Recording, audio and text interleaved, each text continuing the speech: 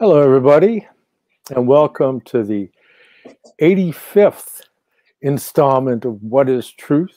I'm John Barnwell here in the city of Detroit, Detroit, the Straits, across from Canada, the Queen's Realm. I'm not even going to comment on that. Seeing as how it's clear from our research at American Intelligence Media, apparently that's we have that designation uh, under the hood, shall we say. So it's uh, it's a little uh, sticky wicket, eh? What? So here we are with the venerable, squeamish Archbishop uh, David William Parry, Reverend Parry, in in merry old England, in the city of London, and uh, it's just a pleasure to talk to a gentleman that is capable of, of re responding to some of the obscurities that seem to float across my radar. And so that's part of the beauty of this conversation is we never know what's going to pop up because we we do what we do by ourselves and then we come together and we have a conversation with the understanding that our central theme has to do with what is truth and we're also in the description below that there's a mention of the Grail Mysteries and the work of Rudolf Steiner, of which we both have a common interest. And uh, well, that gives us a, a, basis for conversation, considering it's a massive uh, undertaking if if one takes it seriously, because there's what some five six thousand lectures and fifty books and articles and on and on and on. And then there's the architecture. I mean, if Rudolf Steiner were only to build the first Goetheanum and the second Goetheanum, he would be considered a marvel just from that standing alone. But it, it never gets mentioned, you know. Although Frank Lloyd Wright went all the way to Dornach so he could look at it, you know. And, you know, we have some friend of mine lived in one of Frank Lloyd Wright's houses. Well, it's it's an exploration of what you could do with a straight line. and if you look at the doorway to Rudolf Steiner Bookshop in London, uh, you could see that nice uh, anthroposophical style doorway, you know, with these nice curved forms. And so you see that there's this image of morphology. And so when you get into Rudolf Steiner's work, as I've said on many occasions, what you're doing is you're exploring the, the qualities of time. And if you get into other attempts to try and determine with, you know, what is all this? What are we doing here? I mean, you can even go back to Aquinas and say, okay, well, what's he say? You know, he, he even spent time, how many angels could dance on the head of a pin? But you see, in defense of the concept of open sets, he didn't say how big the pin was. So that leaves it up to, to the wildest uh, levels of speculation. And so that's kind of the, the, the challenge when you're looking at, uh, like, there was a question here uh, by a gentleman uh, every notion is supported by a parallel, let me put it on the screen, by a parallel quantum biological pneumatology given directly from God. Okay, and what does that mean? Well, pneumatology has to do with the actions of spirit, right? Pneuma is it's like a pneumatic pump. It, it has to do with the air pump, so that you know God breathed life in the man. And that's what it says in the Bible, right? So if you're looking at spiritus, which is the Latin form of, of pneuma, then uh, you get into the whole idea of the, of spirit. What is spirit? And that becomes a challenge because our relationship to spirit is something that, that undergoes metamorphosis according to the anthroposophical model or the model of spiritual science or Christian occultism which leads back to the school of St. Paul in Athens that was headed by Dionysius the Areopagite, and uh, that whole series of teachers there that took that name, Dionysius. So when you look at the first bishop of Athens, you know, I've been spending a lot of time thinking about Greece and uh, also thinking about its relationship to uh, the Old Testament and the mysteries of, of Jehovah as expressed within the Jewish records, you know, of which is like, I can't tell you how profound my, my uh, humility is before, especially the books of Moses. And so when you get into the, the books of Moses and you get into the, the descriptions, and Rudolf Steiner does a great deal to, to make it clear, there's there's a, a division that that is is presented there because you have okay the Jews have their relationship to the Hashem, the holy name, the, the being that appeared to Moses in the burning bush, and and the Israelites followed the column of, of smoke, and and there's experiences in fire, but it's it's something that occurred in nature it was an outside experience. And so understanding the distinction between the mystery of Golgotha, the incarnation of Christ, that there was a change in the relationship to that uh, nature of being, being that if you get into the work of Rudolf Steiner, he he is very clear it's through the realm of these of Jehovah is the realm of the Elohim, or in Greek, exousiai, that we received our ego, our individual being that makes us a human uh, fourth stage uh, evolution. And so we went through three previous stages Saturn evolution, sun evolution, a moon evolution. Now we're on the earth. And in between, there's what's called in, in the Orient pralaya, a period of rest for certain levels of beings. Okay. And so when you get into understanding that, and then you get into like going back to to St. Thomas Aquinas, and you get into the whole uh, nexus of efficient cause. In philosophy, they make a big deal out of efficient cause, and and that gets into like uh, what Blavatsky calls the unmoved mover.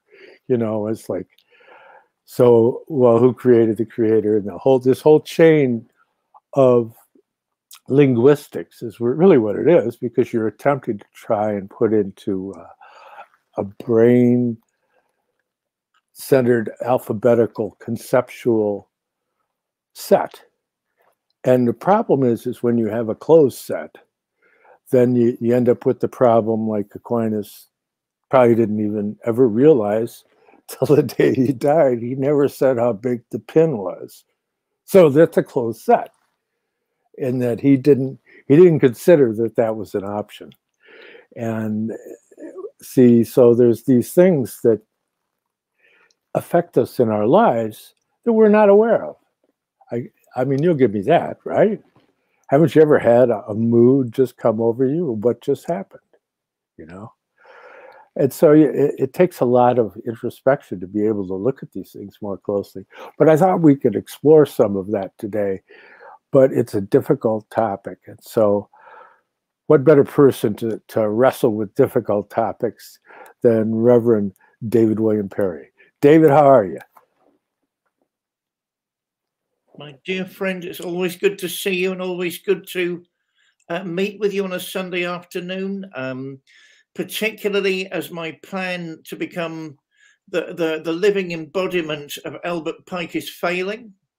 And my uh, TikTok followers are telling me I look like Ben Franklin, as I was telling you off air. I'm happy with Benjamin Franklin. I'm happy with Benjamin Franklin.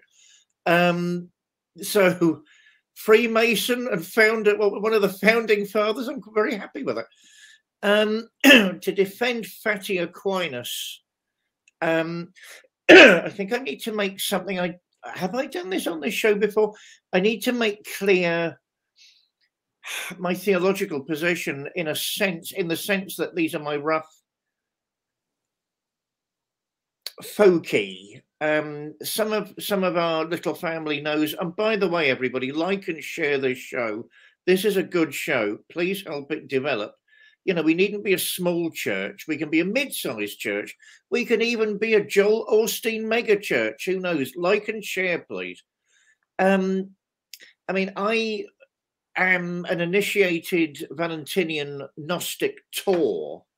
Um, as well as being an archbishop within the independent Catholic movement.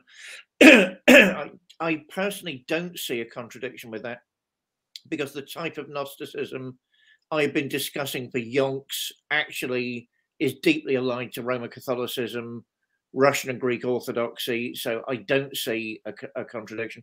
Not all forms of Gnosticism, of course, are in that particular framework, but the ones I'm talking about are in that particular framework.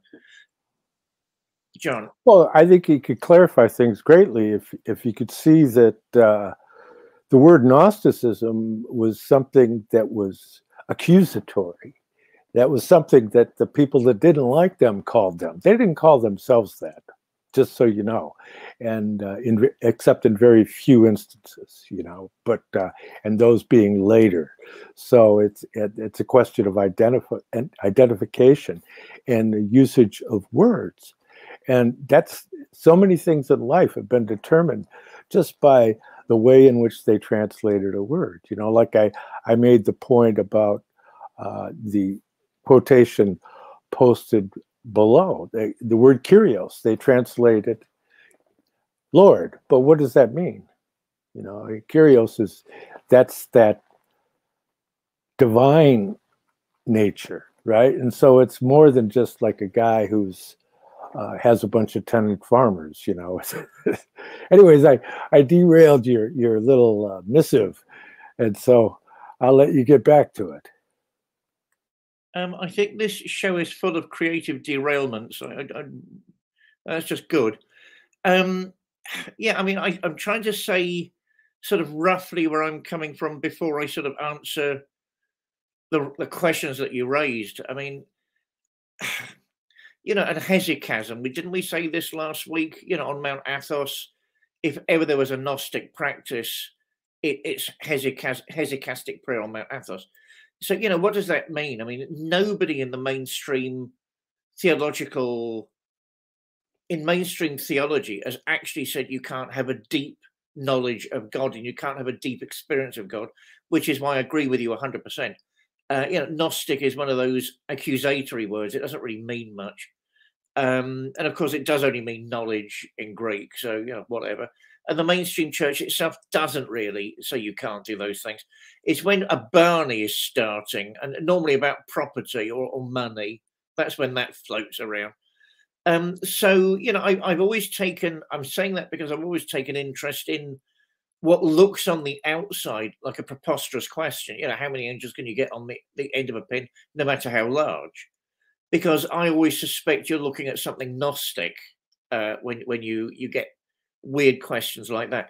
I mean, I suspect that Aquinas was actually talking about an idea which didn't come back for centuries.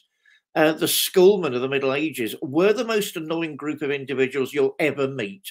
And no, you couldn't take them for supper, they'd bore you to death. But they did raise some interesting issues.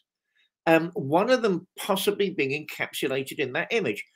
Could there and can there be such a thing as non spatial being?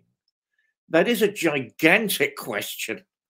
Um, and only really be- beginning to come back now with the advent of things like quantum mechanics, uh, where lots of people are actually asking that question again, but in a much less beautiful form, in a much less beautiful way. Um, so you know, the, the, the head of the pin could have been vaster. It could have been the, the minutest thing imaginable because you're dealing with the sort of concept that Aquinas didn't want to be drawn on, but he wanted to show, I think, he was aware of. Um, and so, I mean, you know, both he and Albertus Magnus, magicians as well as monks, which people tend to forget, and the type of Kabbalah, if that's all they were practicing, I suspect they're into a lot more than that. But let, let's stick with that for the time being. The type of Jewish mysticism that was meant to hold back Islam um, and the Hermeticism that the Muslims of that period were embracing with a gusto. Um, I mean, and is it done in this sort of tribal way, uh, the, the, way that moderns do it? Absolutely no, it's not. I mean, there are stories that both Albertus Magnus and Fatih Aquinas addressed the University of Paris dressed as Arabs, you know, to show their indebtedness to that culture and the advances it was making. You know, I think the tribalism, tribalism in human affairs tends to be now more than in the past, uh, where where you know the intellectual set, the the intelligentsia, actually did have a universalist view in the best of senses, without denigrating their own tradition. That that's something that's been lost. Uh, maybe that needs to come back. And certainly, as I say, quantum mechanics, quantum biology, since that's already been raised. Um, I mean, those are questions. You know, what would non-spatial being entail? What on earth could it be? And theoretically, there's no reason why it cannot be. Um, you know, you're looking at vast and, and important questions that do have direct bearing on our lives, though as surprising as that seems, uh, whether we like it or not. I was thinking uh, during the week, curiously, of the so-called new high priesthood. Uh, you know, the the astronomers, um, astrophysicists. I mean, let's face it, we're all on our knees to them nowadays. Hubble telescopes, you know, uh, photographs from the edge of the universe, and it's great. I'm not knocking it; it's absolutely great. Um, but we do have to remember that they themselves grudgingly admit to something the sociologists don't admit. The social sciences, you know, that's like your local vicar. That's like sort of your local clergy that want to, you know, don't don't worry about that. Don't worry about that. You know, they they want to stifle questions, whereas whereas, God, I thought you'd like that metaphor. Yeah, well, yeah, they're kind of like Frankists, right? You know, they don't want to tell you how to think they want to tell you what to think, right? And what people don't understand, you know, they hear about St. Thomas Aquinas, it's really no big deal to them. But if you did an analysis of conversations that they'd have had, let's say the last five, ten years, uh, you won't find anything within uh, your language idiom that wasn't formatted, so to speak, by Thomas Aquinas. So you are indebted to him every day, right? That's the, the whole orientation of your relationship to language and thinking and all of that is an inheritance from Thomas Aquinas, who took the ideas of Aristotle and, and oriented them to Christology. In addition to the, the second most quoted source next to him in the Bible is the writings attributed to Dionysius, the first bishop of Athens, which is like the rudder on this show, because that's that whole idea of spiritual beings. Angels, archangels, archai, uh, exousiai, dunamis, kuriotetes, thrones, uh, cherubim, seraphim, that that whole series, that divine series that's expressed in the Kabbalahs, the tree of life, that it's these, uh, the planetary spheres of, of activity and that we live within this this relationship to the cosmos that's very much oriented to time. And going back to what i had said about the mysteries having to do with the resurrection and then leading to pentecost is that that rudolf steiner says that jesus christ the mystery of golgotha brought time back to mankind and that they were in danger of just becoming space beings. There was no, you know, time. Well, that doesn't really mean anything. This is a long time ago. They were just like me. And now we have different information because we worked at it longer. And that whole prosaic argument that doesn't hold water, even if if you do a short analysis like uh, Owen Barfield. I mean, he discovered the evolution of consciousness by studying linguistics and realized that the whole context of language goes through this whole metamorphosis, which has to be representative of the consciousness that's using it. See, so you have this here, and, and I guess what I wanted to throw in is people working with these closed set philosophical models Are, are you taking that into consideration? I'm, I'm sure Reverend David does. Do I take those things into consideration? I have to think about that. Um, um, yeah, I mean, uh, let's, let's sort of round that, that off with saying, of course, Aquinas did have a Gnostic experience at the end of his life, a deep mystical experience, which he didn't really want to talk about much, which is interesting under the pretext that it couldn't be talked about much, which actually puts it in line with the religious experience of mankind, of humankind, forgive me. Um, you know, when, when one starts to approach the ineffable, um, and everything I quote was simply straw in the fire compared yeah. to. There you go. You know, so, but I don't know. I'm I'm less pessimistic maybe than the great mystics. Of course, not being there myself, who knows? One day maybe. Um, yeah, I mean, one of the great sources of enlightenment for me is, of course, the officially atheist Ludwig Wittgenstein.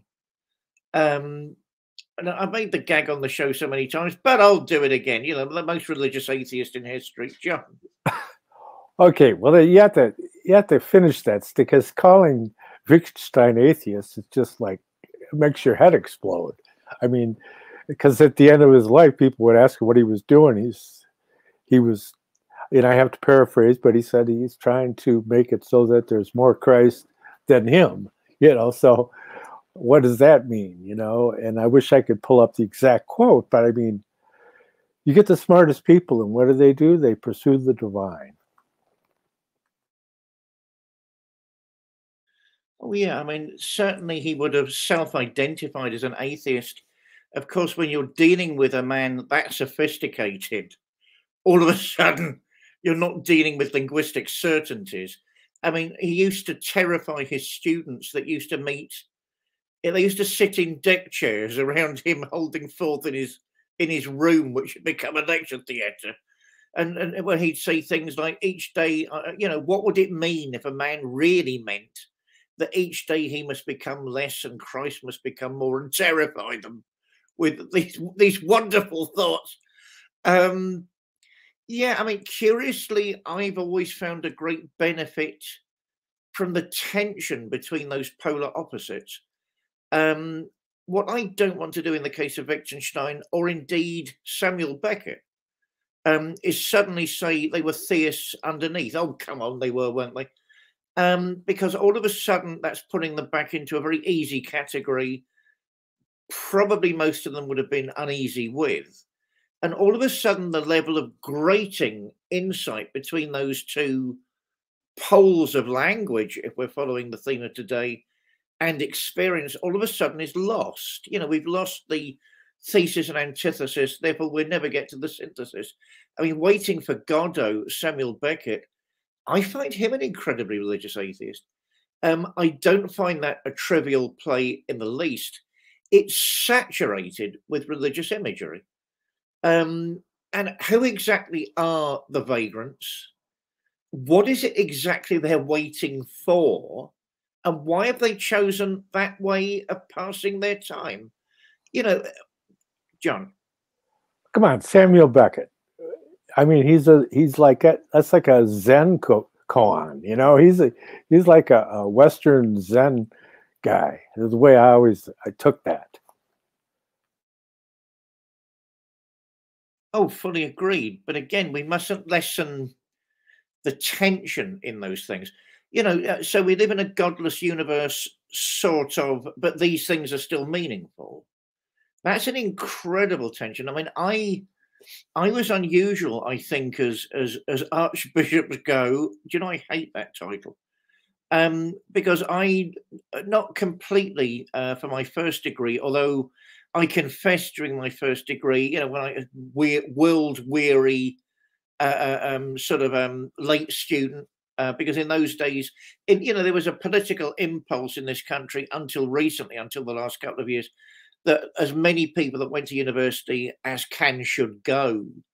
Um, I was sort of caught up in the the early stages of that. You know, mature students is what they used to call them, and it was a in those days it was a real thing here. Are you going to go to university or not? And if you are, why? But you know, what what benefits? I mean, I eventually thought yes because I'd made an agreement with my dear friend Richard Rudgley, the anthropologist, to see if we could bear it. You know, all, all these people putting themselves in positions of knowledge that they may or may not, they may or may not be able to justify. Um, and I was thinking um, a formal ministry. Therefore, it seemed like an appropriate thing to do. God knows what he was thinking of, but I was thinking of a, ministry. Um, so I started reading the existentialists then. Uh, I dab- dabbled with them before that. I certainly read them. If pleasure's the right word, I've read them very deeply for pleasure uh, since that time. I mean, Miguel de Unamuno, the, the sort of um, I'm terrible. Sorry, my frang, my Spanglish isn't that good. Sorry, John.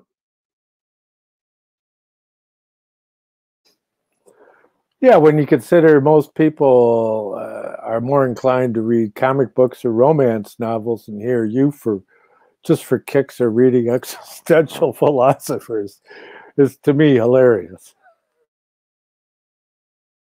I mean, I, I I read those things as well, but not as often. Um, and that you can get it. There's a charge. There, there's an excitement in reading those things too. I mean, I was in reading uh, Miguel. Uh, oh no, I can't say it right, Miguel. Um, I think wasn't that the story of the priest who's losing his faith, and it was an incredibly upsetting and disturbing piece that I came out of thinking, "My God, I'm so pleased I read that." You know, that has really taught me a, a huge amount about the assumptions people have regarding their faith and the assumptions they have about religion generally. And as that, eh, you know, at the back of that play, at the back of that story, there's a question that he never denied was there. Okay, so what is religion? And that you don't get in all these endless, what is it, all this, all this stuff that, the sort of Joel Osteen keeps producing. Even my hero, T.D. Jakes, you know, you're okay by me. You know, we're all in this together. It's just garbage at the end of the day. Would it save anybody's life? Would it make the world a better place? No. I mean, it makes everybody chuffed. I hope that's a, a, word, a word that travels the Atlantic. You know, we can all pat each other on the back. You're great. Well, so are you. You know, but it's not Christianity. Uh, it's not anything to do with the mysteries. And I think you have to go through I mean, is it even questioning? Do you know, not once did it make me think, is there a God or not? It made me think, what do I mean by that assumption? What do I mean by that in, inner experience, by that inner knowledge, by that intuitive source grasp? It made me think that. What on earth do I mean by that? But it never made me think, well, no, you know, barking up the wrong tree. This is this is all bollocks. It never made me think that. If anything, it deepened my understanding of what it means to be human, what it means to question, and what on earth could the Gnostics have meant. And there are some very big minds in church history that have fallen at this hurdle. You know, what would phrases like the God beyond God actually mean? Um, and you know that witch whole witch trials have started for no reason apart from the fact certain ecclesiastical authorities didn't like that question. But that is a good question for the simple reason, like how many angels can stand on the edge of a pin, on the end of a pin, for one simple reason it throws the ball back into your court. What do you mean by God? If there's something called God, what do you mean by God? Is there something beyond God? Well, you know, what do you mean by that term in the first place? In Wittgenstein's I don't know. I, th- I think the logic, uh, as I say, that he wrote two masterpieces. The Tractatus. Uh, no one doubts uh, it's a masterpiece. You must be. You must know nothing about linguistics if you can't see how that's a trailblazing work of genius. But uh, people don't want to get into the riddles posed by the philosophical investigation, which is the second work of genius and tantamount to something scriptural for me, uh, because you know he even thinks attributing too many frameworks to words like existence is on the verge of being sacrilegious. And all of a sudden you think, oh my God. So he never he never denies goodness, beauty, and truth. He just doesn't think we know what we're talking about when we're using those terms. without saying there is no goodness, beauty, and truth, which is what the lesser lights in linguistics and the lesser lights in popular philosophy nowadays are trying to say. Oh, what he meant was no, it's all very clear. Read the text. You're not reading the text.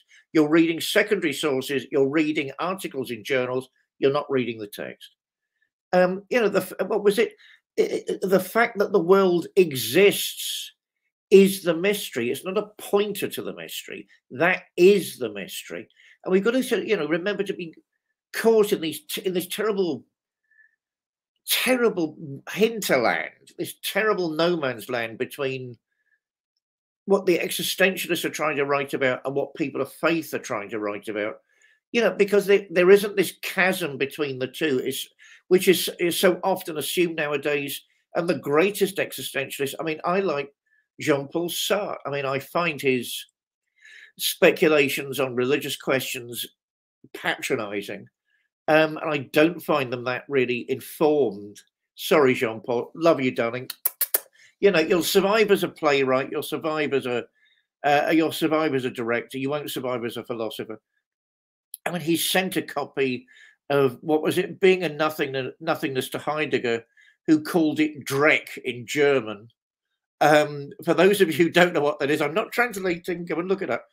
Um, so, so you know, so the French version. Well, Heidegger was rude, but he could be rude. You know, that's what a, a French Cartesian thinks of being in timeline. You know, yeah, bash, bash, um, and probably deserved. You know, because Heidegger circles these questions in a sense, you know, that he wants to answer them but won't. And I think that in, in itself is important. Where, whereas someone like Jean Paul thinks he's arrived at a conclusion, you must be joking, mate. Yeah. Um, and that someone like Wittgenstein teases, he teases responses. Um, obviously, in philosophy, that's the best name for me. But I think in terms of drama, um, as I say, you know, we're looking again at Samuel Beckett and those wondrous Zen. I agree, hundred percent Zen-like writings about what is it, what is it all, and where is it taking us? Um, and it always seems to lead back to this sort of mystery of mysteries, which for me is the Christian tradition. Handing back to you, John, because you're looking concerned. No, it's not a matter of concern. I was looking and I had to, you reminded me of something I was considering earlier. And uh, if you get into uh, the history of all things British and their relationship to uh, philosophy and the influence of the Kabbalah on uh, British philosophy, of which most people are almost totally unaware, that uh, it played such a, a, huge role in in the evaluation of scripture and all of that. And you get into interesting individuals like Cudworth and and and the translations into Latin because a lot of sources that were being used were in Latin. And of course, you're talking about scholars here, British scholars that could read both Latin and Greek, or they got hit with a ruler. And so they have a capability of, yeah, yeah, he remembers. But and so in looking at that and uh, like somebody like uh, anne conway for example a, beautiful example of she was a viscountess conway. Her, her uh, maiden name was finch but she's an english philosopher and she's within the tradition of the cambridge platonists. And she influenced gottfried leibniz and leibniz is like huge. I mean Leibniz, uh, you know, it, it be, it's still a bone of contention uh, whether uh, calculus should be rightfully attributed to Isaac Newton or, or Leibniz, okay? And because they were corresponding at the time re regarding the outer limits of mathematism and what, and, uh, but Rudolf Steiner did comment on that. And he said, well, if you take Leibniz's approach to the matter is more healthy than Newton's, you know, because Newton's basically, well, you just take the circle that you're trying to circumscribe and just however many slices you cut the pie, that's how you get your calculation. So that's that's the uh, oversimplification, but it has to do with it does make a difference how you got to what you uh, came as as a how you understand things, and that's that's the rub. It's like when you get into like health issues, they say they're always they want to find like some microorganism that's responsible for certain things happening. It never crosses their mind that well maybe that microorganism is present because something happened. But see, they're not going to get paid coming up with that as an answer, so they don't look for that. Even though uh, they may find it, they don't think about it that way. They go on and go, okay, so what could we do to combat this microorganism? Rather than, well, why did the system become imbalanced? Perhaps uh, more often than not, it's just a merely acid alkaline imbalance within the lymphatic system that leads to most conditions, and that's which is what they should be called. But until they call it a, a dis-ease, uh, they can't get paid for it, really. So there you have the the the uh, thievery of language again. It's this whole it it gets back to linguistics, and linguistics is tied into all the the mind control memetics and the whole the whole scam that that gets run on people through uh, government by journalism and and this the fake media and and it's like a branch of your uh, intelligence headquarters and so you, it's like uh, what use is it to, to quote Pravda? You know, I, I, I never do, you know, because what are they doing? Well, they're trying to promote how, not how to think, but they're trying to tell you what to think. And so you'll never get very far in science with that uh, approach. And, and so I derailed once again where you were going with that. But you handed off to me because I was looking around. Oh, I remember. Yes. Anne Conway. What a wonderful soul she is. Let me see. I have something over here. What, one of her uh, associates is, is uh, one of my uh, favorite characters in, in that whole culture. Francis Mercury van Helmont. Okay. So obviously Van Helmont, well, he's his father uh, is uh, important in the history of science, and and but this is by Allison Coudert. It's a nice edition that I got many years ago. E.J. Brill, wonderful publisher out of the Netherlands. But uh, Impact of the Kabbalah in the 17th Century, the life and thought of Francis Mercurius van Helmont. And so when you look at that and you see that that's what they were using, they were using Kabbalistic uh, kind of mathematism and the whole idea of this Neoplatonic uh, understanding or apocalypticism really is what it is if you get into scripture because it's about the number. And when they start giving things numbers in scripture you know there's something important going on here by the way you know it's why is it always 12s and 7s and so there's there's something very significant going on uh, beneath the surface so to speak when you get into the permutations and you get into the the uh, text Knorr von Rosenroth uh, that was translated uh, out of the Latin uh, by Samuel Liddell MacGregor Mathers, the head of the Order of the Golden Dawn, which is a Hermetic Kabbalistic society that Charles Williams, who was an Inkling, he belonged to one of the Golden Dawn type societies. And so it's using Hermetic and alchemical and Kabbalistic methods of speculation. And that's, that's very much in, in the tradition of the Neoplatonic stream and, and uh, Viscountess uh, Conway, who's just a wonderful, brilliant soul. Unfortunately, she was plagued by migraine headaches and they couldn't figure anything out. They even tried bleeding her in her jugular veins to relieve pressure in her brain. She tried everything and she died at an early age, but she was a brilliant writer, is still talked about. And so I love finding these really key uh, females like Jane Lead or all these interesting characters. Uh, you know, Countess Wachtmeister, who helped Madame Blavatsky. She's an interesting character indeed. And so, but when we get into some of this, I, I want to go back to where I found it and I put it somewhere. I'm always finding things and putting them somewhere. Here's a nice quote from somebody out of that tradition of the Golden Dawn. It's uh, this Mark Hedsel wrote a very interesting book I read years ago. It was published back in 1998. And uh, it's called the Zelator, which is a degree in the Golden Dawn system.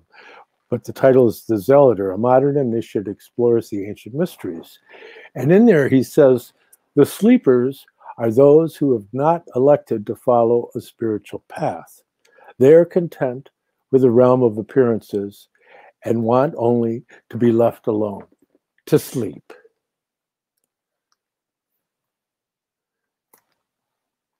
You're up. Was that me falling asleep? Um, yeah. Uh, oh, oh, you said loads of things. I mean, yeah, I, I uh, uh, haven't read that particular aristocrat deeply. I've come a, across her work. Uh, I must do that one day. She sounds fascinating. I mean, also, it's good to remember that Platonism runs through traditional British thinking, uh, British academia, very, very, very, very, very, very deeply. Um, and I would argue more deeply uh, than Kabbalistic thought, although I take your point. Kabbalistic thought is everywhere the minute you begin to look at it, but Platonism from the start I mean, certainly uh, I bumped into Lady Warnock, uh, who only died recently, of course, a couple of times. Who was with, listen, bitch, you're a Platonist, yeah. You're a Platonist. Never answered me. Never answered me. But right, you're a Platonist, yeah. Um, I did meet a couple of times uh, Iris Murdoch and her remarkable partner, John Bayley. Um, I don't know. Iris still rings in my ears. I mean, an open Platonist, um, which is something surprising. I mean, how did she manage to keep her position in Oxford when she was openly a Platonist? But she'd say it. She'd say it, unlike these other people. Yes, she was. Because, uh, you know, uh, three essays in philosophy, I can't remember. It came out as a booklet. It's in the collected works nowadays. Well, you know, what would it mean to be a modern Platonist? Um, her defense of the notion of the good um, which is an extraordinary piece of work. Uh, so it's still there. I mean, going back to people, you know, I, I mean, yes, yeah. As far as I know, the answer to that one is yes, yeah. Um, because it held the blood of Christ, so in some way it was identified with the being of Christ, as far as I understand that. Uh, Powys, as anyone that follows the show knows, obsesses me. I'm the new John Cowper Powys. It's me, okay? Um, uh, perhaps just, you should read the quote so that people who heard. Oh, sorry, I, I, I never know who can see things or not. A question to Rev David Didn't Powys believe the Grail was an object that slipped into this world from another world and was similar to Christ uh, in in that it, in that way? So the answer is, from my view, yes, because somehow it was identified because it was the cup of Christ, the, the cup that held the blood of Christ with the being of Christ. Therefore, it was somehow, it somehow became part of his part of the whole way that that consciousness that energy interacts with us um you know like like a, a, a small glass of something which is that something. I mean, don't forget that's the idea behind the Eucharist. Whether you take sort of the traditional Roman Catholic view, transubstantiation or not, you know, does it literally become, does the wine and the bread literally become flesh and blood? People like me would have trouble, including Aquinas, by the way, with what do you mean by the word literally? You know, I mean, does it become flesh and blood? Well, yes, no, yes, no. You know, I mean, I've always found Luther um, much more helpful in the sense that Luther, Martin Luther, would never have de- denied that the real presence, the energy of Christ was there at the communion table. He'd never have denied that. Um, it was really reformers like Zwingli who say it's a memorial meal uh, and it's it's not anything else. But uh, you know, there, there's a whole tradition where it, uh, right, what is Christ? He's the historical teacher Jesus. He's bread, he's wine, he's the grail, he's yeah, a number of things at the same time that beckon us to this greater form of being through him.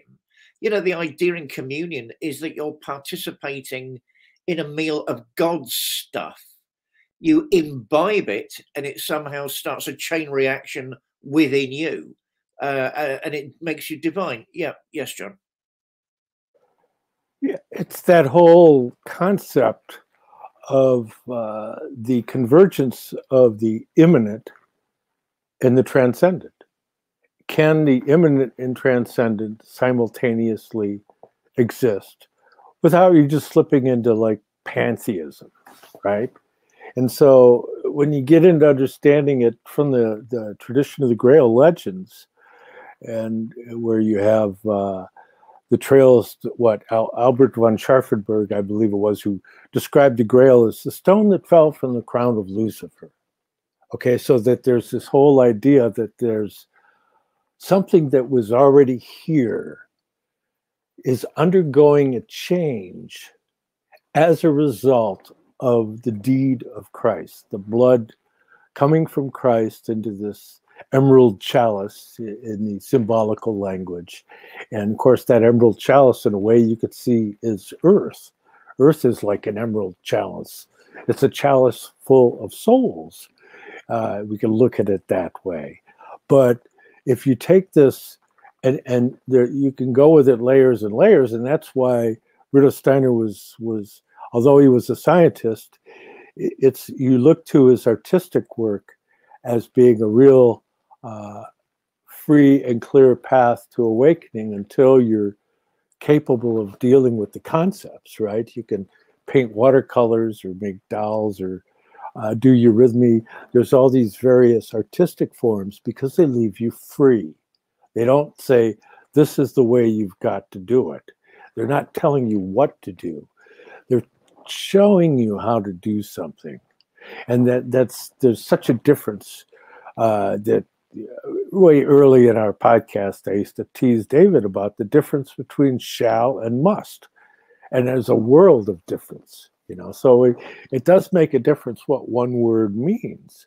And but when you get into this, and and I guess we're getting closer to some of the things that I've been thinking about lately, but well, okay, so what is the nature of the transition to where Paul uh, became the bridge into the Greek speaking world so that that uh, the mysteries of Christianity wasn't just like a subcult of Judaism, but that it was a world mystery. And so that whole idea of the grail is being that which is waiting to receive something. And so you can look at traditions like Kabbalah means tradition. So it's it's a receptacle for for ideation. It's a receptacle for thinking, just like mathematics is. You can take mathematics and use it as a structure in which you can think about things. That's the whole point of mathematism is to be able to to use it as a language of, of the relationship between space but also time and they always leave out that time element but it's it has an objective existence according to steiner and if you get into like uh, for example e equals mc squared and what steiner said about that you know is the, the real thing is the velocity. You know, the the all these other things that they're coming up with, those are the illusions that are a result of the way in which they're approaching it. But that that it's the velocity that's the thing that's real, because that's that will force, right? That's that's where the arising comes from. And so, for example, let's trace back to uh, the Old Testament and Jehovah Elohim, the exousiae beings. So, like, what does what does Steiner say about the exousiae? Well, we received our ego from them, but there's an important point to keep in mind is that it's their responsibility for Earth evolution, and they will be the gatekeepers for the next stage uh, to, to, that determines whether or not you succeeded at becoming a human that was capable of graduating to the, the next uh, stage of being an angeloi in, in the Jupiter evolution. So obviously, you've got that whole idea of that there is a, a, gatekeeper there, and it's the father principle, and that that's really the, the the criteria that you have to be able to meet to be able to graduate. Okay, so let's say, well, what about this Luciferic thing? What is that? Well, the Old Testament Jehovah impulse is unaffected by that Luciferic impulse. It's a pure uh, Jehovah stream. So it's tying into that real, reality basis of which the word came to expression and is the the burning bush mystery that that was revealed to Moses. And so it's unaffected by all this pagan stuff. And yet the Greek, it's the Greek element that brings in that pagan element. And that's that Luciferic thing, because if you get in studying Greeks, I mean, it's fascinating because if you get into the mythology of the Greek gods, I mean, geez, they're they're a, a piece of work, aren't they? And and Rudolf Steiner does indicate in in this particular lecture cycle, Wonders of the World, Ordeals of the Soul, Revelations of the Spirit, that he, he gave in uh, Munich back in 1911, August 18th to the 27th. And he gets into explaining this distinction. It's, that's what I've been like spending most of my time in my studies with over the last few weeks, because if you don't know that, do you, have you really figured out what Rudolf Steiner is trying to say because in there he he talks about the beings in in the early stages of mankind that that there were these beings that that uh, are abnormal angels from old moon that preceded earth evolution. They didn't graduate. So they can incarnate into human bodies in the early stages of our evolution. The angels that actually graduated from old moon they can't do that they can overshadow somebody, but they would be violating their mission were they to just come and, and, and take human form at this stage right now. So it, it becomes fascinating and complex when you start to see that this there's this whole uh, distinction between the upper gods and the lower gods and that which is arising from the earth and that which arises from the heavens. And it's such a complex subject. I mean, I was discussing it earlier with my good friend uh, and anthroposophist uh, Joe, you know, and so like Joe uh, Visconti, he's like intrigued by some of the similar things that I'm intrigued by because he's been dealing with it most of his life, although he's considerably younger than I am. So he doesn't creak as much when he talks about it. And and and so it becomes a question of uh, what is that distinction? So what happened? And and and it's interesting because Rudolf Steiner talks about how at the end of Atlantis, some you know 10, 15,000 BC, you know, that the the old Indian period began and that was guided by the realm of the Archai, and then the Old Persian period, guided by the realms of the archangels, and then you come to the Egyptian period, and it's guarded by the angel, by the realm of the angels, and then we go into the Greek period, and the hierarchy step back and let man go ahead and like just try to be a guy without all kinds of uh, uh, interference, shall we say?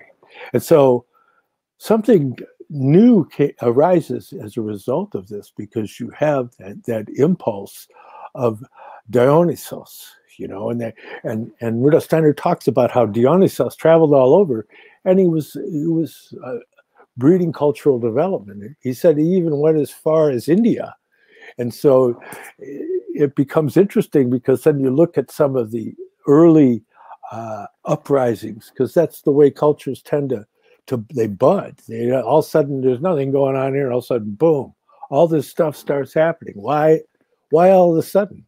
Well, if you get into the history of, of occultism and spiritual science, and Blavatsky talks about, Steiner talks about it, on and on and on, is that leaders of mankind come and and you know, and, and you look in their traditions, and that's what they say, by the way. If you look at uh, in the ancient cultures as much as I have, and I've done, you know, 15,000 volume database on ancient cultures and and and I've looked over all this stuff and they all concur they agree yeah this guy came along and he showed us how to do language and agriculture. And it goes on and on and on. You get into, like, say, for example, the Hermetic writings uh, that were nice addition by G.R.S. Mead. I forgot I had this. I was digging around and I pulled out a box and I opened it up and had all kinds of goodies in there. And I thought, oh my, you know, I did.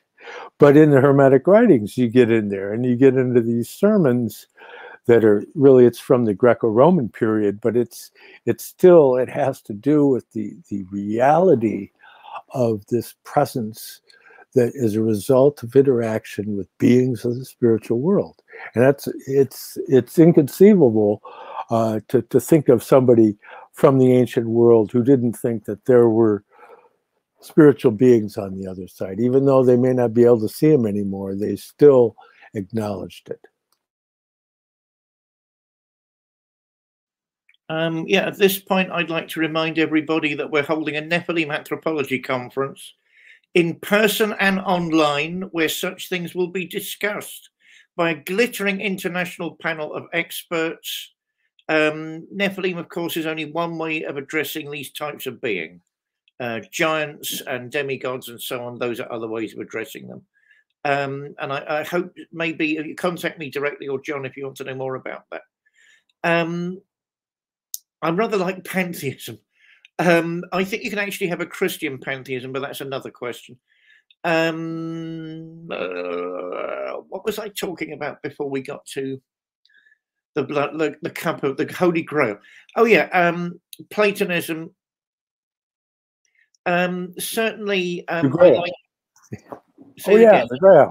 The Grail. Well, I mean, the Grail is you know, I I suspect there's more to the arts and the artistic involvement in these fields than simply a suspension of analysis.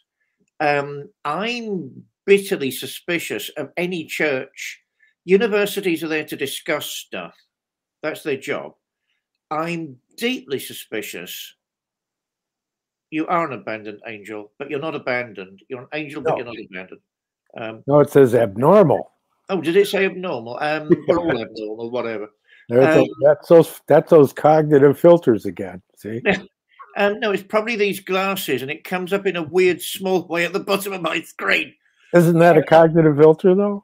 Um, it would be if I could see see it, John. You've got to remember, I can't see any of these messages, and there's this very thin sort of ticker tape thing that it appears in on my screen. I don't think anyone that watches this show is abnormal.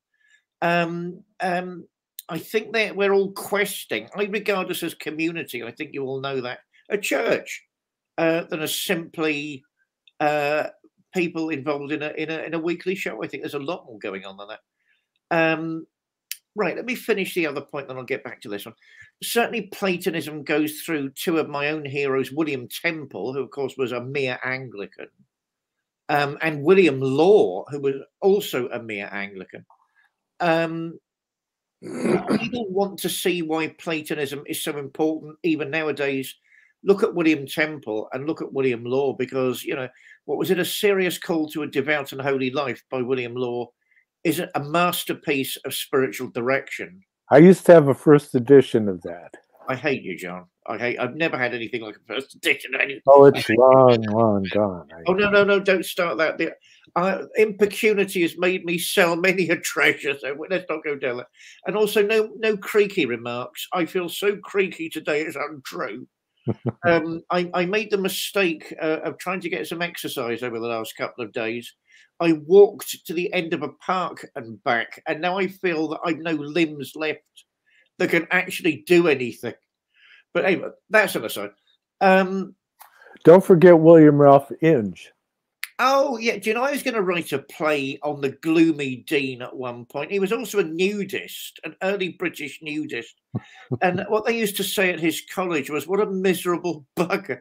And I thought, how, how you know, practicing mystic and mis- miserable bugger, how can I put that onto the stage, darling? But I, no one encouraged me, so it's on the back burner somewhere. You never know one day. You know, I like Ralph, Ralph Inge. I like Ralph Um, His book on Christian mysticism is really very good. Yeah, but it's brilliant. But you know, was it was he laying And his on volume set on Plotinus. It, I mean, it's wonderful stuff. Yeah, yeah, but, but was he laying on the beach being depressed? Was he laying nude on the beach being depressed? And that's the image I could never get out of my mind. Yeah, so why are you depressed? You can't you can't unsee that. um, uh, oh god, this. Right, hang on. Um, blah, blah, blah. Greek gods. Um, probably not worthy of the term theos um, in the sense that we use it nowadays. Uh, they were, as you said, beings. I mean, I quite. I mean, the Olympians. You know, they love going around looking cool. Most people get them wrong nowadays. It was a closed shop, John. But the, the key point that that uh, one of the key points, because there's never only one, but uh, an important point that Rudolf Steiner makes about the, the Greek mythologies, he says basically, and I paraphrase, if you notice, they're not really particularly concerned with the development of mankind. They're busy with their own situation, their own drama, and their interaction with each other. You're not, it's not about, you know, them giving mandates, mankind, thou shalt do this and don't do that. So it's it's not that it's not that uh, Old Testament uh, God as the ruling impulse thing. It's like these these are beings that they have their own agenda. They're off doing other stuff, and hey, if they get into a uh, some kind of mishap with a mortal, well, too bad for them. You know, it's it's like it's kind of like they they're they're uh, they hardly look askance on on mankind, and that makes it so interesting. And and that's actually the source of drama. Drama c- comes out of that whole milieu of of that that uh, Greco-Roman mythos, and so you have this this this these impulses, these cultural impulses, and the Dionysic uh, impulses, and then you have uh, Silenus, you know, the the the old teacher of uh, Dionysius. You have and you have the, the the elder Dionysius, Dionysius Zagreus, and then you have Dionysius the younger. And Dionysius the younger is that actual being, Rudolf Steiner says, that went and spread cultural impulses to other cultures, and that he reincarnated as Plato, okay, and Silenus as Socrates. So you know, I I don't, uh, on many occasions, as you'll know, mention uh, things that Rudolf Steiner said about reincarnation, who's who kind of thing. But this is one little page in that body of work that that most anthroposophists haven't even seen because this is like this is a, a pretty obscure volume and it was translated uh, it was translated by uh, Dorothy Lenn, but she was assisted by Owen Barfield. So it's it's it's interesting in that regard, and and the original edition was done back in the 40s. So you know, it's a possibility that some of the Inklings beyond Owen Barfield were aware of this actual translation, and so it really probably put them through some challenge, you know. And so you have to look at at, at these things as influences that may be present, they may be not. You don't know. Like saying about about uh, Wittgenstein, is he? Was he? What's his relationship to deism and this and the? Well, you'd have to speculate because you don't know because he didn't say. And so that there's so much radical assumption in the way people think about things, and I just want to try and help people. If you're going to pursue truth, hey, let try working with an open set because there's a ton of stuff you, you don't know. I know there's every day I'm finding out stuff I didn't know. And so it keeps broadening your capacity to be able to look at a situation from many vantage points. And that that brings to mind a, a quote I wanted to before we run out of t- time here. Uh, I'm I want to get to this quotation that I put below, and you can read it below, but I'm going to read it here. And this is from uh, that lecture, Kyrios, the Lord of the Soul.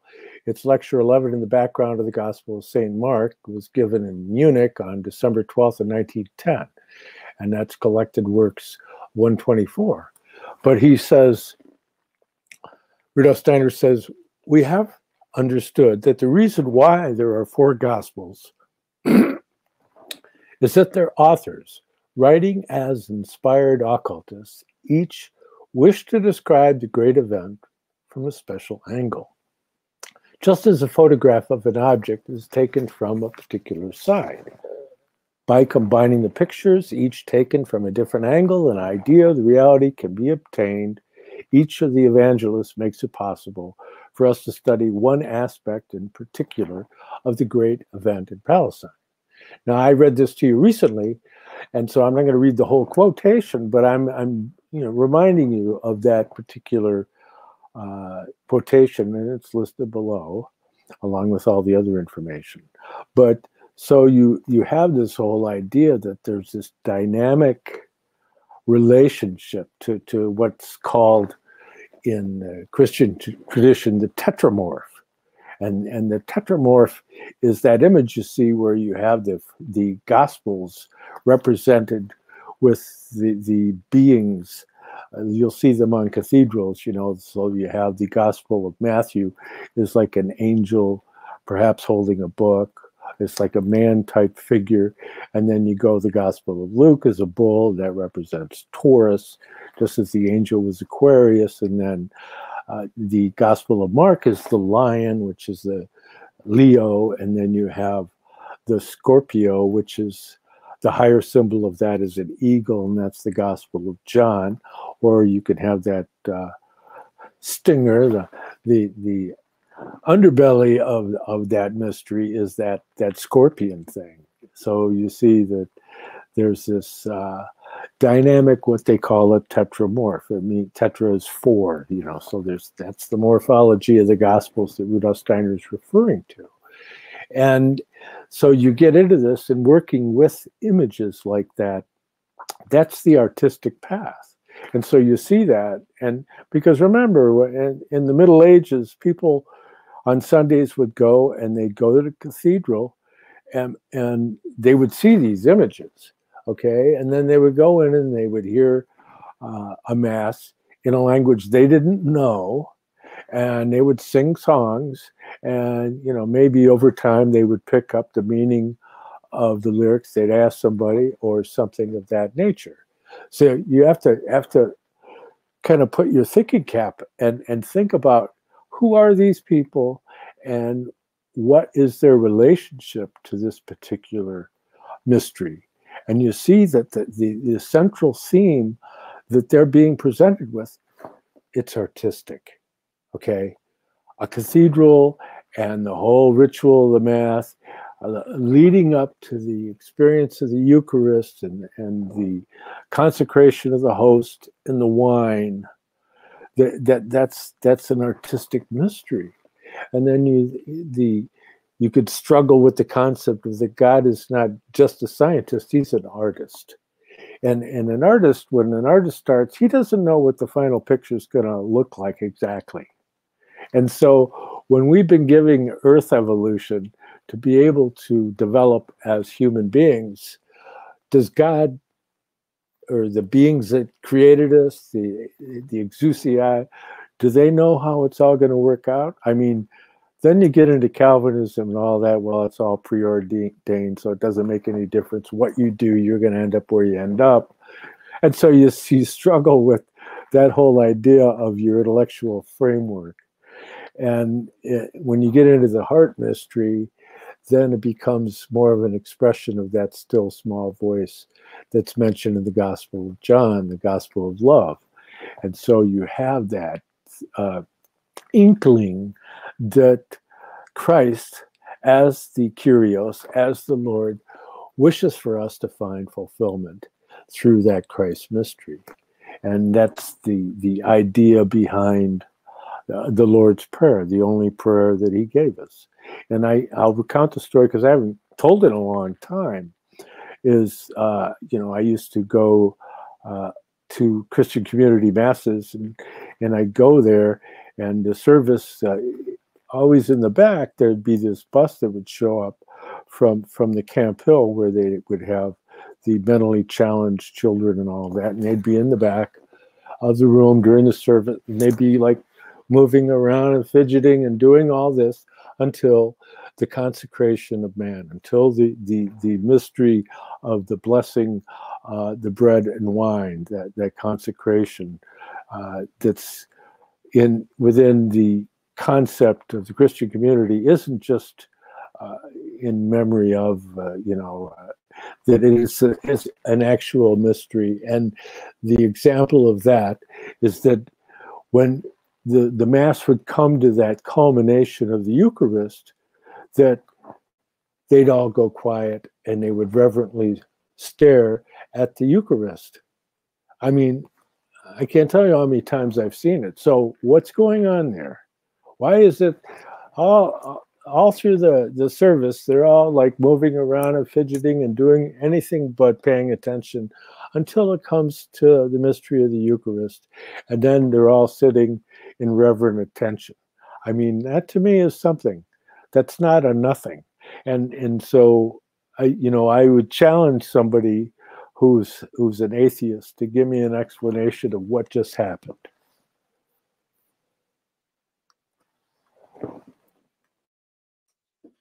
Um, gosh, yeah. I mean, I suppose to, finish my point from earlier, what worries me is the desanguination of the mysteries, the devitalization of the mysteries. You know, um, churches now are going through the work of social workers, uh, and we all turn up and we have a nice time, hopefully, uh, and we all meet the gossipy wife of the vicar afterwards.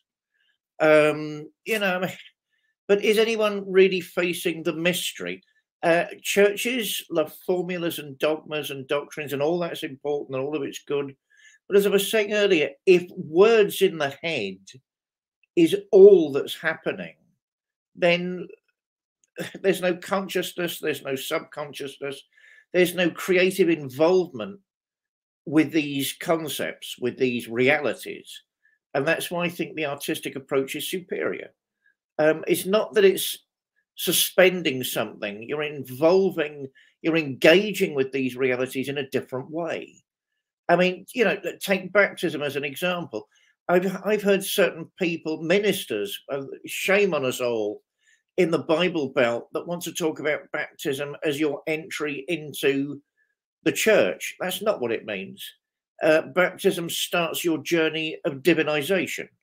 That's the original idea where you become as a god. Now, we can argue about what the ancients meant by that, but that is what they say is going to happen. Um, you're raised to the level of the angels at the least. Uh, you know, as our good Lord Himself said, ye shall be as gods. Um, and we can argue about what that what that means and what that may mean, but the point is it was said. Um, and to go along, although that's not been said, and that's really not what he meant, you know, are you a full member of this church or not? Really, I mean, it's on the verge of blasphemy, whether we like it or not. Um, being, you know, being a member of a church is important. It's not right. I'm wearing this and saying it is not the be all and end all of Christianity. Uh, the be all and end all of Christianity is the Christ energy and the Christ consciousness and our relationship to that. Um, and are we doing that? Just thoughts in the head, words and formulas. If that's all we've got, then we're not doing too well. Um, yeah, I'll pass back on that. What do you think of that one, John? Well, I mean, you can go back to the the pre-Reformation. Okay, what was the argument? The argument, see, it, it Hus, Jan Hus, right? He was he predated uh, uh, Martin Luther, and his big contention with the church was because at the time uh, they would consecrate the wine and the bread, and the priest would take the sip of the wine, and but the uh, parishioners, all they got was the bread. They didn't get any of the wine. And that was his big argument. It's like, why are we leaving them out of, of the mystery of, of the wine into, into the blood? And I mean, it's hard for us to appreciate it, but he ended up being burned at the stake over that issue. and he said, you know, I I've come, but I'm just I'm just the goose. But and I forget how many years he he predicted uh, the swan will come and you won't be able to stop him. And then, of course, as history tells us, the it was Martin Luther nailing his points on on the the door of the cathedral, right? And the the specific rubs that he had with church doctrine at the time, and that was the official beginning of the uh, Reformation. And then you have the Counter Reformation going on with the Jesuits ultimately uh, determining what the outcome would be of that particular uh, treaty arrangement. So you have all this stuff that's all this stuff operating out of the world of men, right? It's the, it's it becomes a, a issues where you got hair splitting uh, with with this this whole idea of the words. What does it what does the word mean? Well, what is it? What is a comma? Is a comma a word? What about a semicolon? What what do they what do these things mean? I mean, I was in music business and I get these contracts from Virgin Records they didn't have any punctuation. It's like, no, you think you're going to trick me with that one? It's like a punctuation mark in a contract could be more important than the word that's used. You know, it, it is a, legal uh, entity that that particular you know, whether it's comma or period or what have you. So it, it the devil is in the details, as they say, and so it, it becomes important that you have uh, a cosmology and I think that that's the primary consideration that, that uh, spiritual science has to offer over and above other systems of knowledge because they seem to approach it from in terms of space. They don't have, they don't uh, equate valuation to time. They don't have a morphology of history, and so they tend to transplant their way of looking at the world on ancient cultures and saying thinking that well they they thought about it because it was they just made something up to cover something they couldn't explain or you know i mean it, it gets pretty ridiculous when you get into like studying like Harnack's uh, kind of humanist uh, attempt to to uh, he he was one of the most important people in the history of, of New Testament commentary. But you look at the guy and you, and and you see that the guy is like really stuck in his worldview. Mm-hmm. He's one of, he's one of the original space beings. He doesn't have any comprehension of time whatsoever. And so what you end up with is like the that Jesus ends up being transformed in like this really really nice guy who said some really great things, uh, which is exactly not how it's presented within spiritual science or Christian occultism. It's that Jesus Christ was an incarnation of the Word. It's in the first 14 verses of the Gospel of John. I guess he didn't get the memo, you know. So it's it's okay. He can think like that. That's where he's at. He gets to do that, and that's that Luciferic mystery that it's because the if you get into understanding the the kind of the, a dualism, so to speak, of, of the creation mystery, you see that you have the divine spiritual beings, and then you have the ideas that are put forth by these divine spiritual beings, and that this, the substantial nature of the retarded angels is that arising out of the ideas of the divine spiritual beings. Okay? That so if you want to identify with the reflection in the mirror rather than the source of that existence, well, good on you. But that's that's ultimately what's going on in the world today. They want you to worship the reflection in the mirror. And and that's this abject fallen materialism that ultimately is going to end up clinging to the cinder of earth as the physical earth drops away into the eighth sphere.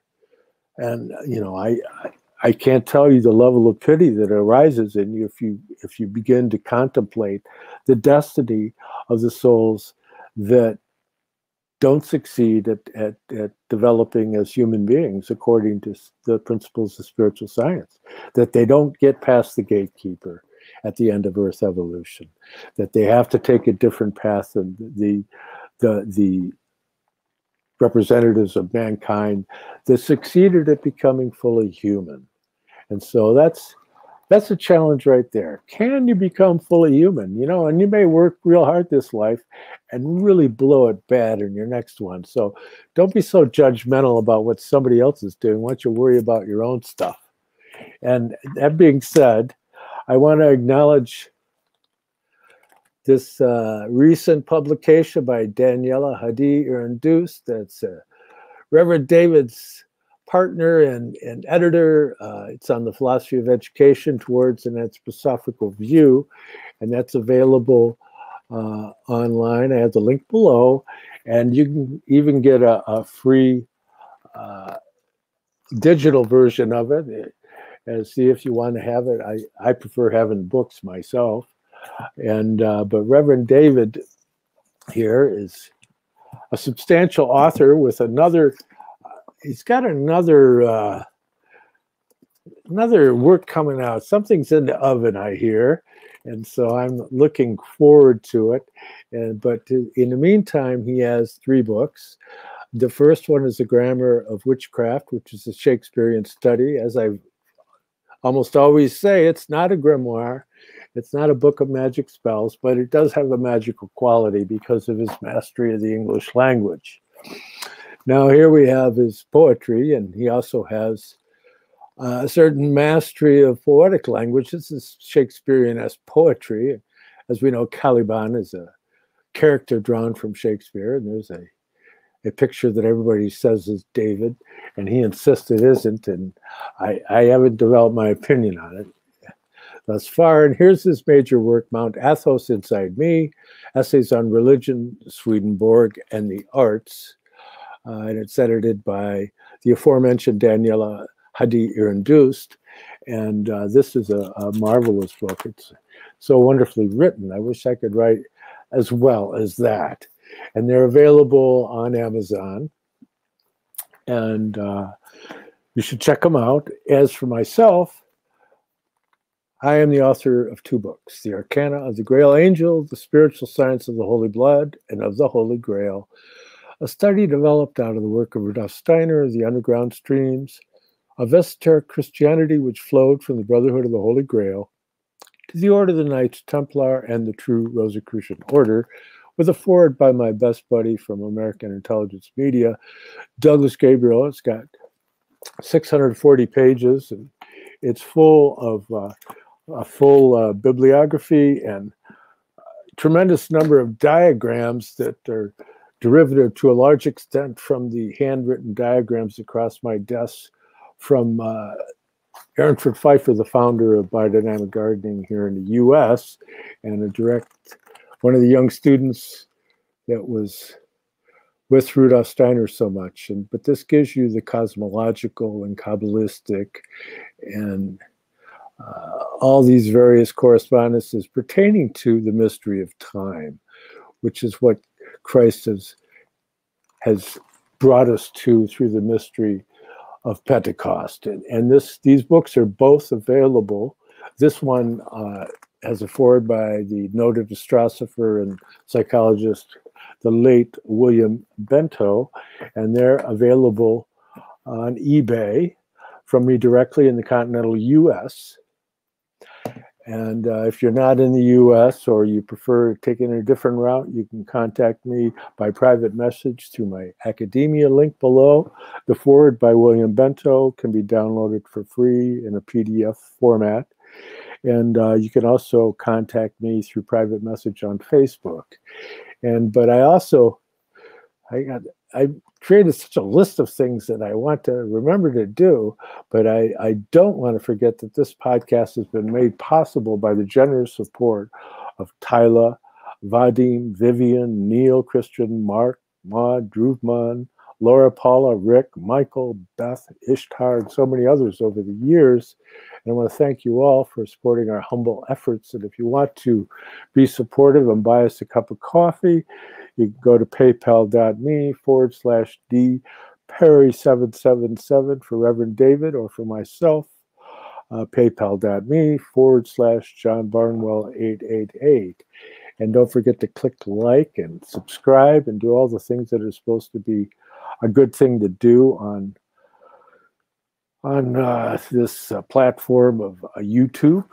And uh, we covered a lot of ground today, a lot to, a lot to concern ourselves with that uh, I think are, is worthwhile things to think about. And I want to get into uh, a further exploration between that whole challenge, the Pauline challenge, really, because it's it has to do with that the way in which the Old Testament culture converges into the in the world of of Greco-Roman thought, and because it, it's through that that it became uh, considered to be a world religion rather than just a a small cult within Judaism. So that being said, as uh, we could now have our Reverend David uh, give us a, a, prayer after I'm sure he has some some comments, firebrand that he is. And uh, I just got a text from Tyla Gabriel. So she's so busy creating, she's not watching at the moment, I'm sure. And that's a good thing. She can check it out later. So, Reverend David, it's back to you.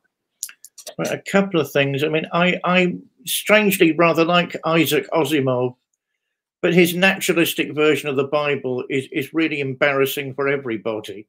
So please just put that away and talk about robots.